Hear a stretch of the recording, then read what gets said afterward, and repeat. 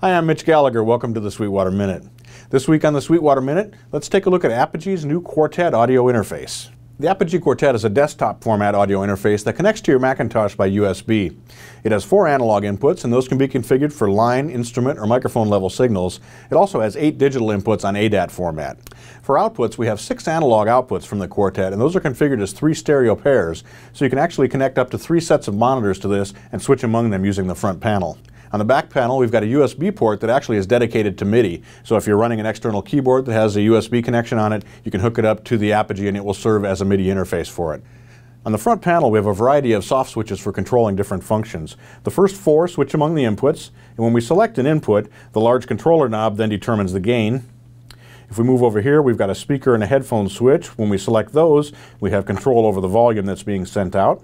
And then we have three soft switches, A, B, and C, that can be assigned to a variety of different functions. In this case, I've got uh, A set up to where it clears the meters, B uh, turns on dimming for the monitor so it drops the volume down, and C sets the monitors to mono so that you can check phase coherency.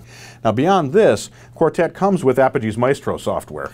The Maestro software lets us get in and control all of the functions of the unit. So here we've got an input page that lets us select our different uh, input types. And again, we can look at our uh, meters here. We can also uh, set the gain controls. We can see meters for our digital connections. We've got an output page. We've got routing pages. We've got a mixer page over here where we can set up things so that we don't have any latency when we're recording into a DAW. So we've really got all the functionality that we need to control the unit right here in the Maestro software.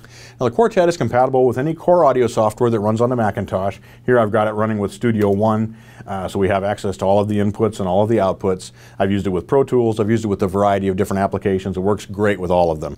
Now the Apogee Quartet offers tremendous sound quality. It comes from Apogee, who of course are known for their really high quality converters, but the mic preamps in this also sound very good. The monitor section is nice and clean, so when you're using this, you really can rely on the fact that you're going to get great sound quality through it.